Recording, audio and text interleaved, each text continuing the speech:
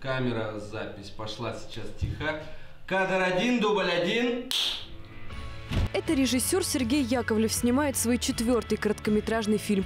Кино он занимается уже 11 лет, правда, с перерывами, в свободное от основной работы время. Свои фильмы отправляет на международные фестивали. Один из них взял три номинации, в том числе и в Лос-Анджелесе. В конце концов, мне, я надеюсь, что я перейду на тот уровень, когда искусство или то творчество, которым я занимаюсь, поможет мне существовать, в принципе, и ну, не заниматься, например, коммерцией. Ну, пока этого не получается, пробуем как есть. Если бы мне было просто кайфово от того, что я снимаю кино, я бы, наверное, переехал в Москву и работал бы на съемочной группе, какой-нибудь съемочной группе в составе там какого-нибудь серьезного фильма.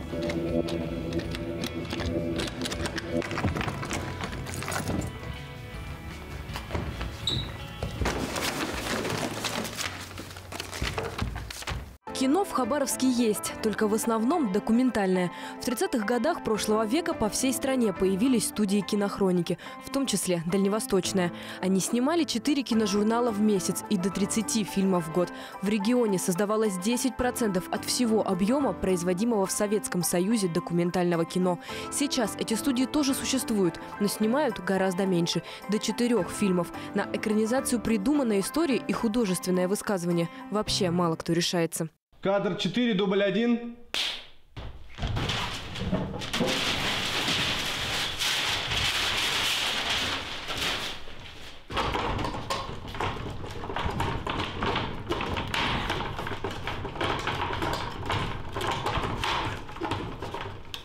Виталий, еще ближе. Не вспомнил. Ты здесь не вспомнил. Ты вспоминаешь. Да. Все, вот так. Давай. В Комсомольском колледже Сергей Яковлев отучился на дизайнера архитектуры. Потом решил продолжить обучение, но уже в Хабаровском политене. Тем более, что после колледжа он мог поступить сразу на третий курс. Но парень случайно наткнулся на объявление о наборе в Институт культуры. Специальность режиссура театра показалась похожей на режиссуру кино. Долго Сергей не размышлял. Со мной мама, правда, не разговаривала очень долгое время. Она реально думала, что я просто все ну, бросил, и это было как как сказать, предательство с моей стороны. И вот в 2009 году настало первое лето, когда Сергей не вернулся домой. Он остался в Хабаровске, чтобы снять свой первый короткометражный фильм. На полторы тысячи рублей э, ели лапшу, бегали, там, снимали по дворам. Э, и у нас такой был такой очень э, триллер, боевик, сюжет. Так вы видели бы, как он драпанул. Вот он, красавчик. Да, все нормально. Включите свет. Уроды! Вас из всех посадят! Да вас же ну, куча народу видела, вас фотографировали, на видео снимали! Отпустите меня! На киноавантюру он подбил университетских приятелей. Одни собирались на море, другие привычно провести время с родителями. Но в итоге все снимали фильм. Вообще кино – командное искусство. Вот так выглядят типичные титры полнометражного фильма. В данном случае это «Собибор» Хабенского. Здесь только над декорациями и реквизитом работали 52 человека.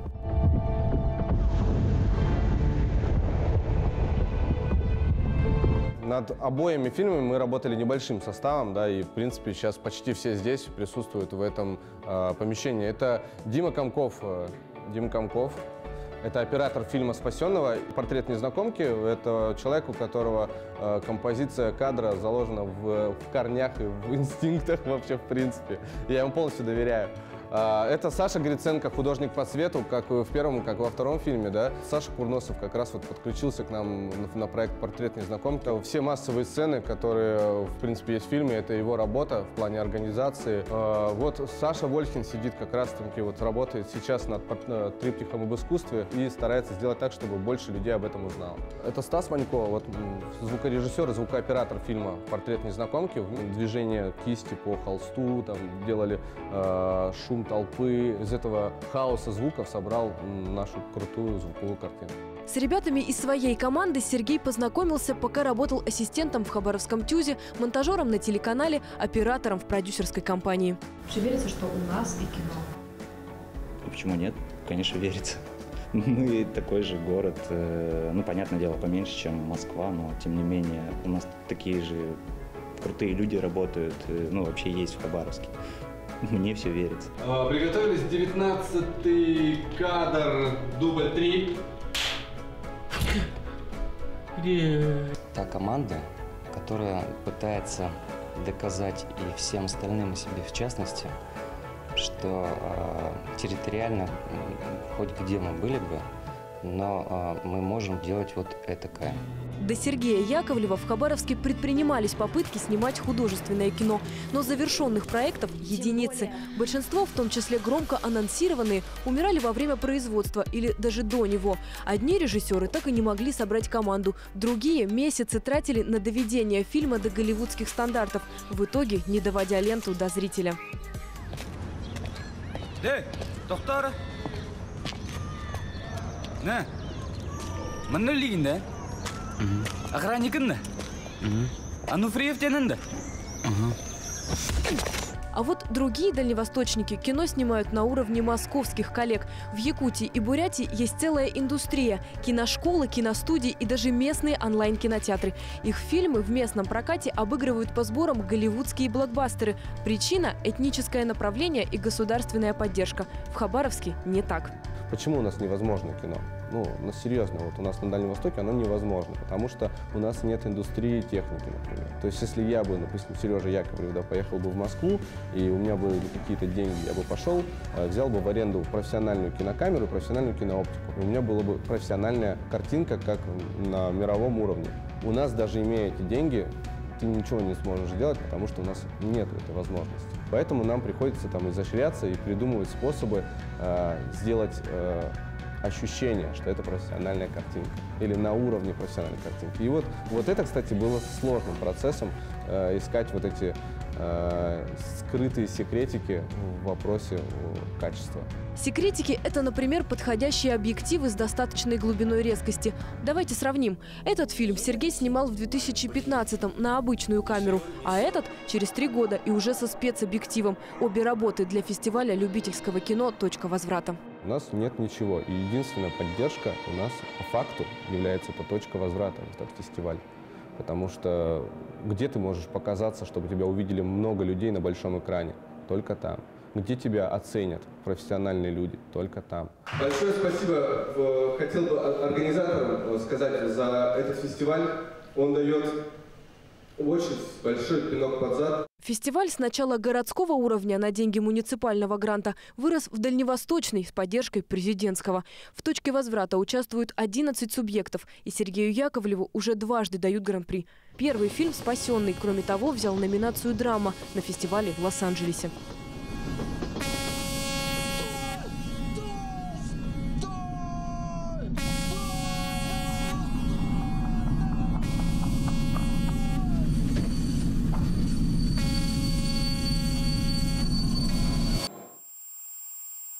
Пришел к выводу, и что? Вы молодцы, вы доказали, что в, э, в Хабаровске можно снять кино на хорошем уровне, чтобы тебе можно, могли руку пожать. А дальше-то что? Полный метр? Нет. Полный метр? Нет ресурсов, нет возможностей. «Портрет незнакомки» – еще один фильм, взявший гран-при «Точки возврата». Это только одна часть большого проекта. Сергей и его команда взялись за триптих об искусстве.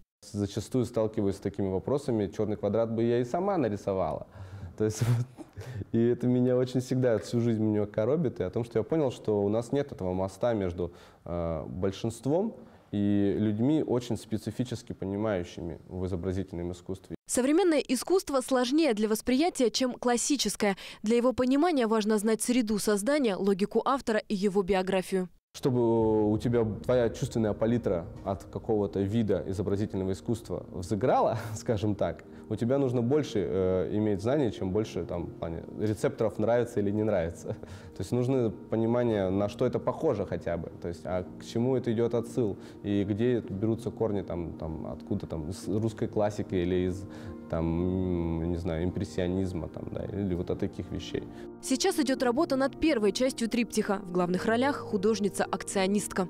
Она сама является жертвой, наверное, социальных сетей, потому что каждый лайк от ее поста в Инстаграме а, веревка будет накручиваться на 1 миллиметр. И чем больше лайков она получит, тем больше накрутится веревка. Оставшиеся два фильма уже не получится снять за свой счет. Дорого команде обойдется аренда помещения, организация массовки из 50 человек и строительство настоящего эшафота. Здесь э, режиссером вряд ли получится быть, в Хабаровске в смысле.